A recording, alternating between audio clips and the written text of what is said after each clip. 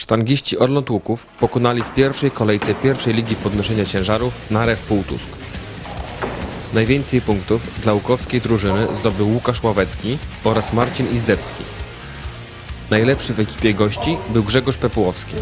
W drużynie ŁKS Orlęta Łuków startowali Jakub Sadło, Łukasz Bącik, Patryk Czerwonogrodzki, Marcin Izdebski, Łukasz Ławecki i Jarosław Daniluk.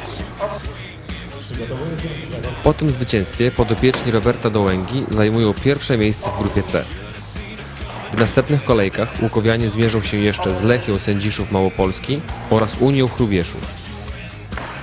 Przypomnijmy, że rozgrywki ligowe sztangistów odbywają się w nowej formule.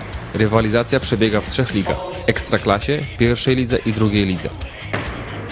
Sztangiści ŁKS Orlęta Łuków w zeszłym roku awansowali do pierwszej ligi, która podzielona jest na trzy grupy.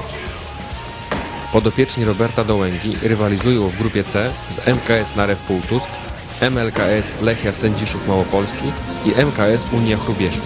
Zwycięzcy z trzech grup spotkają się w finale, które zdecyduje, która drużyna awansuje do Ekstraklasy.